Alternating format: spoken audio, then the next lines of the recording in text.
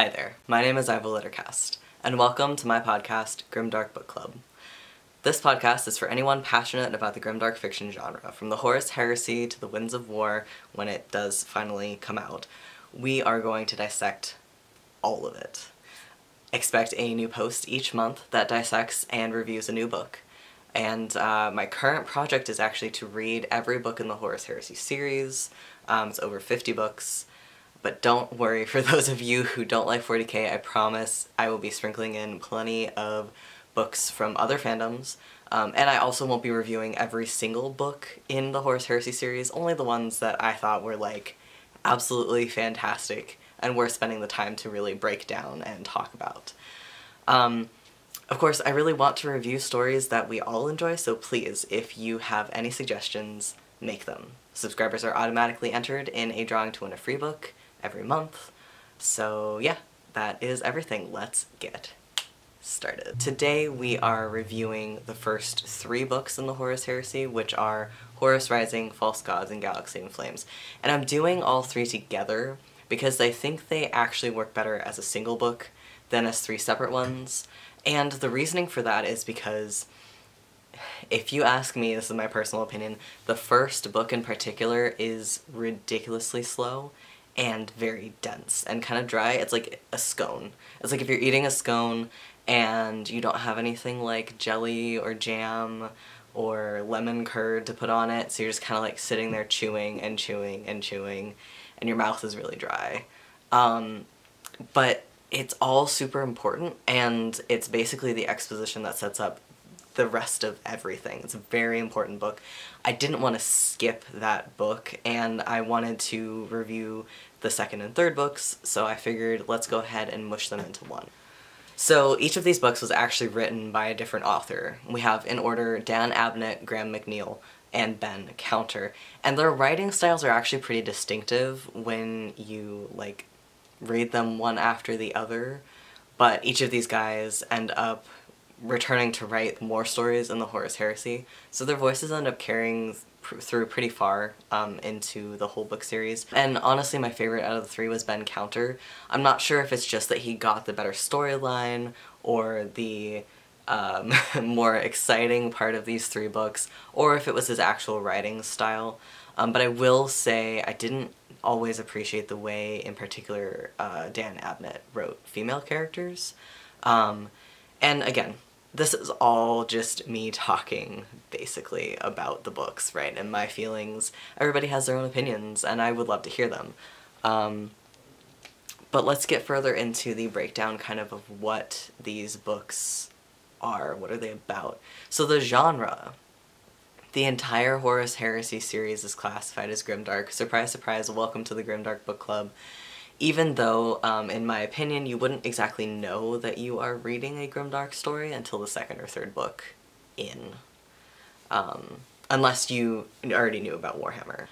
Um, but that brings me to their intended audience. So we all know that Black Library only really started taking off in the past 15 years or so, so it could be assumed that the audience um, for the stories were initially meant um, to be people who already knew about Warhammer and who really just wanted to get deeper into the lore. Obviously that's changed, especially within the past 15 years or so, maybe even less, but for those of you who are subscribed to the Warhammer newsletter, they're pushing the books a lot more. And I like that. That makes me excited because that's the type of stuff that I'm into. Games Workshop, they really want to get more people excited about the universe, excited about playing and painting and building, um, and really being a community. And Black Library is an excellent means to reach people like me who are less interested in actually playing the game and more interested in reading the stories of the people who exist within the 40k and uh, Age of Sigmar universes um, and watching the games be played. And of course, with all of that in mind, like all the information I just gave you, these first three books really were geared toward um, the adults who enjoy reading science fiction and grimdark fiction with a militaristic theme. Like, that kind of boils down every, just about every book in the Horus Heresy series.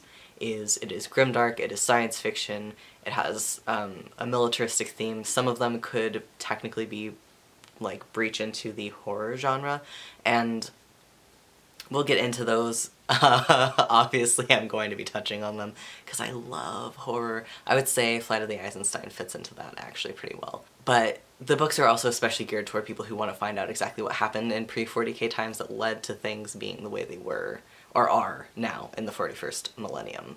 So let's go on to my rating of these books. So overall, I actually give these first three books a collective 6.3 out of 10, and that doesn't sound big, but I took an average of my ratings for each individual book. So for the first book, Horus Rising, um, I actually gave it a 3 out of 10. It took me literal months to get through that book, and I don't take months to read books, um, especially if I'm listening to them on Audible. Like, the only other book that I've read so far through Audible that has taken me literal months to read was Helter Skelter, um, and that's just because that's a hefty, hefty book with a lot of information. So, yeah, the second book, though, False Gods, is where it starts to pick up. I, I gave it a 5 out of 10, um, and the third, Galaxy in Flames, to me was a 9 out of 10, and I'm only giving it a 9 out of 10 instead of a 10 out of 10 because there are books that come later that are even better than Galaxy in Flames. But to me, the peak part of Galaxy in Flames was actually really the final scenes of it that just made it stick in my mind so vibrantly. Now, me giving a 3 out of 10 and a 5 out of 10 to the first two books does not reflect whether or not I think you should read them. I think you should read them, period, end of discussion. If you are into Warhammer, you should read The Horus Heresy. Like, that is my feeling on it. All of them. Every single book, even the ones that are a little bit of a drag to get through because they build they build a foundation for the later books that are like explosion. Like all of my favorite books in the Horus Heresy wouldn't make sense without the context of the other books that kind of happen in between them. So, um, let's give a summary, and this is going to be long. um, I'm actually chopping this podcast into two episodes because it's going to be a long summary, and then I'm going to go into more detail on talking about, like, my thoughts and opinions on, on everything. So, it's going to be long, I will be using uh, information gathered obviously from reading the books, but some of these, the information that I'm including here, uh, was stuff that I didn't pluck out of my head, I actually used the internet. The website I used the most which was https colon forward slash forward slash wh40k.lexicanum.com. There are also going to be spoilers. Just so if you don't want spoilers, turn the podcast off now, you have 10 seconds before it gets started. Um, come back at another time. uh, so 10 seconds starting now. 9, 8, 7, 6, 5, 4, 3, 2, 1. Alright, here we go. So in book one, we are introduced to several characters. We meet three Primarchs, Horus, Rogal and Sanguinius. Um, we actually also meet several Luna Wolves, including Garviel, Loken, um, the other three characters who are in the Mournival long term, and Maloghurst, and then there are some Emperor's Children, and people from a few other legions, and some Remembrancers. The Remembrancers end up having a really big part to play, but they don't really start to become a major part of the story until later. They're more like accessories um, up until probably halfway through the second book. The main character of these books is technically Garviel Loken, but by the end of this trilogy, the starting three books. Um, the focus includes Remembrancers Kyril Sindermann, Euphrates Keeler, and Mersadie Oliton. It also focuses on some character development from some other characters that are either introduced in this first book or the second book. Um, and a lot happens in this first book, but it boils down to Loken getting accepted into Horus's inner circle, discovering the existence of lodges in the Astartes ranks, learning about the warp through a freak accident, um, and then attempting to come to terms with the nuances of all of those things while still maintaining his humanity. And his humanity is kind of what everybody seems to be like lauding and praising him for uh, as the reason why he's a good addition to the Mournival, which is Horus's inner circle of Astartes. In addition to that, we also meet the Megarachnids, which is a Xenos species, as well as the Interex humans, um, which the Astartes inevitably wipe out both of those. Um, and we also get the first few hints of the cult forming based around the Lectitio Divinitatus. Um, and the Luna Wolves change their names to the Son of Hor Sons of Horus in this book, Um, also, a galaxy-shaking semi-sentient weapon called the Anathame is stolen from the Interex Museum of, like, violent weapons. Um, and the Vengeful Spirit, which is Horus's ship, uh, moves on toward the moon, Davin. So that's, you know, kind of just a very, very vague recap of the first book. Um, and the main purpose of this book is actually to set the stage for the next two books. It took me, like I mentioned, actual months to read through this whole book because, let's face it, it's really, really dry. It's all exposition with a very little bit of action and the smallest dose of intrigue. That said, it's still very much worth the read because you end up meeting most of the key players throughout the first three books of this 50 plus book series and many of the events you read later on in other books that are not directly like after this trilogy actually link back to the events that happen in this very first book right here.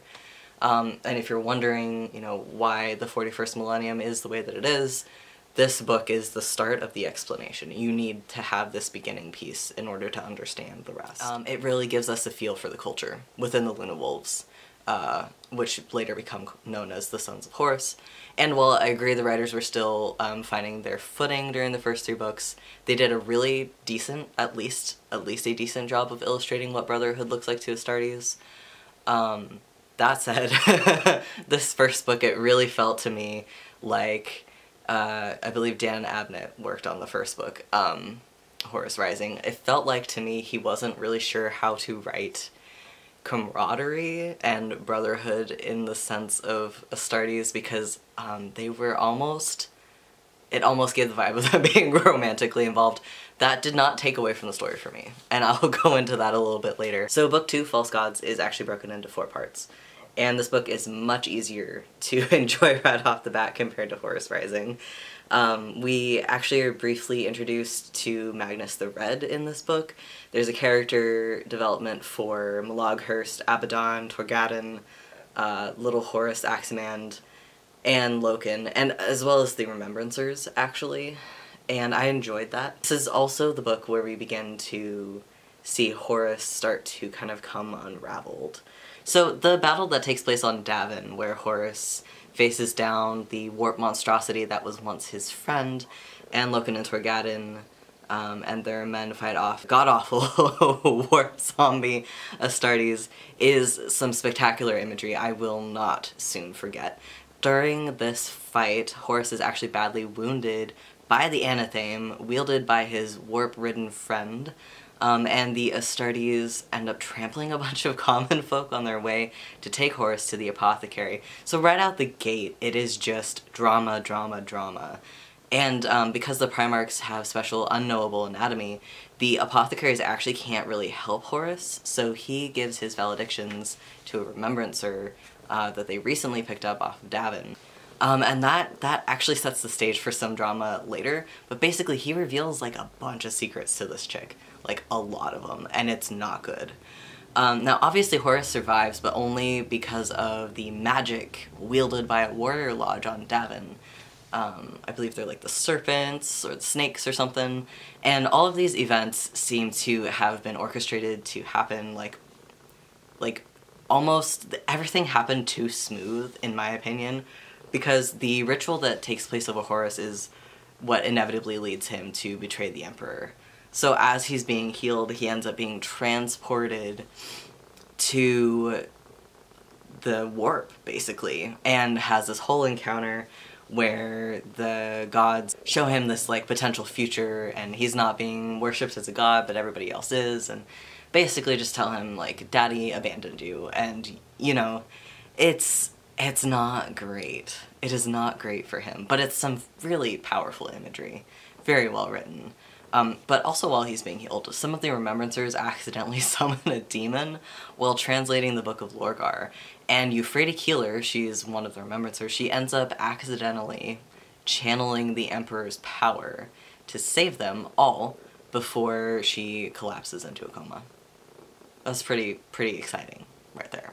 And actually that was the most mind-blowing part of the entire book. Um, I've reread it actually a few times just to get as much details as I can from it into my brain because it was really a work of art the way it was written. Um, And then Horus leads his 63rd expedition to a new goal after he's recovered, and they meet the uh, technocracy. Goodness, that's say that ten times fast. Um, and basically just kill them outright uh, under the pretense of some kind of assassination attempt in order to seize a tool that they have called an STC. Um, which they're basically they're highly valuable and they store like all of this like really important knowledge and he promises them uh, the STCs to uh, Regulus of the Mechanicum um, in exchange for their support uh, for his plan to overthrow the Emperor. And during this time, the Anathame also ends up with Fulgrim, who has his own book later on, and that sword plays a really important part in that book as well. Um, and then Angron and his World Eaters actually help Horus and his sons violently dispatch the Auretians without prejudice. I was shocked. I was not ready. I was not I was not ready for that whole thing to happen, and it was it was awesome. Um, that said, anything with Angron in it, man, I really am not Angron's biggest fan. I don't think anyone is, and whoever is, like, good on you, you found a Primarch you like. He reminds me of my bio dad a little bit, so not, again, not the biggest fan of him. Anyway, so then at the end of the book, uh, Ignace Karkasy, who is one of the key remembrancers in this story, he's actually murdered um, and it, it's painted to look like suicide. Um, and the Remembrancer who took Horus's valediction is also mur murdered. Um, and Loken and Torgaddon team up, and, and the Mournival is officially split down the middle um, as the 63rd heads toward the Istvan system. So book 3, Galaxy in Flames, is kind of the book you, it's really, it is, it is, of these three, it is the book you cannot put down. In less than a week, I devoured it. I would have given this book a 10 out of 10 if I hadn't read more Black Library books that I thought were even better than this one. Um, so let's get into it. So in this book, we finally actually meet my favorite Primarch, Morty, uh, Mortarion, and my favorite Death Guard character, Nathaniel Garro, and the Remembrancers, Euphrates Keeler, Kyril Sindermann, and Mersadie Oliton actually play really big roles in this book instead of just being quasi-secondary characters, and I like that. I like that they shifted the focus a little bit more. Um, so Horus has four Primarchs on his side at this point, and they need to clean house in their legions. So they arrive at the Istvan system, and they're supposedly there to crush a rebellion that's occurring on the planet. Um, but yeah, that's not what's gonna happen. So the book starts off with some really epic scenes taking place on the Vengeful Spirit, uh, one of which involves Euphrates Keeler, now hailed as a prophet, waking up from her coma as Sindermann and two of his allies try to transport her to a safer place, and she casts some sort of spell on their uh, pursuer, the person chasing them, and about to kill them. Um, and the spell makes it so that he can barely move, and his bullets fire in slow motion. I was not expecting any of this stuff to be like as mystical and exciting as it was. I should put in at some point, I had no information about Warhammer before I started reading these books. None. So all of these things, as I'm experiencing them, are like brand new and exciting and unexpected. And so that's that is the lens through which I have like been reading all of the books. Um, I think that colors my perspective on some things. Um, right, but so they've arrived at Istvan Extremis, and Captain Garro is badly wounded by something called a War Singer, but another Astarte Lord Commander, Eidolon, is actually able to kill the War Singer with a sonic shriek, ah, um, thanks to a curious member of the Legion, Saul Tarvitz. uh, now, so when I first read that, I was really perplexed, because I was like, wait, they're not supposed to be altering anything anatomy-wise. Um, but as I continued to read, there was actually a character called Saul Tarvitz who got curious about that, and he ended up, like, basically the story takes us to a laboratory where an apothecary is making surgical enhancements on Legion members. And this seems strange to include at this point in time to me, um, but it does get touched on again as a key point in another book. So I'm glad they planted that seed there. Because we come back to it later um, but it's not really touched on too much further in this book. Uh, so then Horus sends an assault force to Istvan, and that force includes Loken and Torgaddon, but not the other two uh, members of the Mournival. So that guy Tarvitz I talked about earlier, he actually is the one who finds out Horus's plan to kill his own Astartes on Istvan's surface. And um, the cooperation of the other Primarchs the same end. Like, he kind of just becomes aware of all of it at the same time by following a hunch.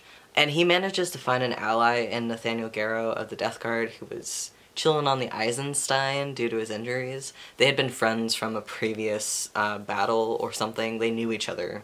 And Garro listens and believes Tarvitz that like all of this stuff is about to happen. So he actually helps cover for Tarvitz as Tarvitz takes a drop pod and descends to the surface without any kind of permission to warn the Astartes there of the impending danger. Um, and then Garro actually jumps into the warp. We don't see him jump into the warp in this book, we see him prepare to. And then you have Flight of the Eisenstein, which tacks onto this book. That is possibly my favorite book of all time, Flight of the Eisenstein. And that's saying something because I've read a lot of books.